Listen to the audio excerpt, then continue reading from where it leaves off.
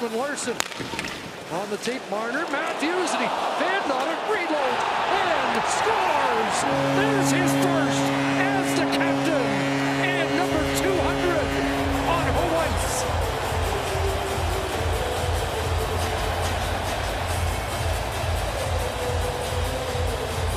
Oh, right on cue. He say, don't worry, good things are going to happen. And how about this? Talk about even a readjustment. He actually fans on the shot originally as Knies does a nice job of keeping it alive. Marner battles it. Ekman Larsson nowhere to put it to the net, so get it to the stick of Marner. A failed shot the first time, but that's what you've been accustomed to see, that little wrister.